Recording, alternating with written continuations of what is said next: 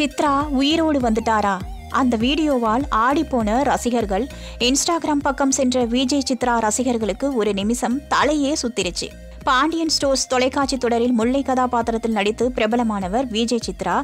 இதையடுத்து கால்ஸ் எனும் படத்தில் ஹீரோயினாக நடித்தார். அந்த படம் ரிலீஸ் ஆவதற்கு முன்பே சித்ரா தூக்கு போட்டு தற்கொலை செய்து கொண்டார். அது தற்கொலை அல்ல கொலை என சித்ராவின் அம்மா தெரிவித்தார். சித்ரா வழக்கில் அவரின் கணவர் ஹேமந்த் கைது செய்யப்பட்டு பின்னர் ஜாமீனில் வெளியே வந்தார்.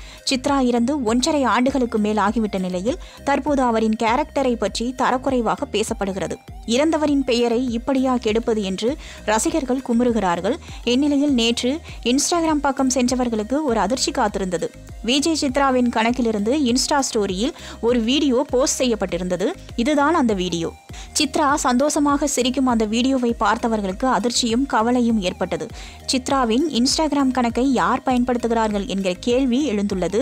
திரும்பி வாங்க சித்து அக்கா என்று தொடர்ந்து கூறி வரும் ரசிகர்களோ அந்த வீடியோவை பார்த்து சித்ரா தான் வந்துவிட்டாரோ என நினைத்துவிட்டனர் இந்த மாதிரி நியூஸை கண்டினியூஸாக கேட்க ராஜ் டியூப் சேனலுக்கு லைக் பண்ணுங்க ஷேர் பண்ணுங்க சப்ஸ்கிரைப் பண்ணுங்க. பெல் பட்டனை ப்ரெஸ் பண்ண மறந்துடாதீங்க.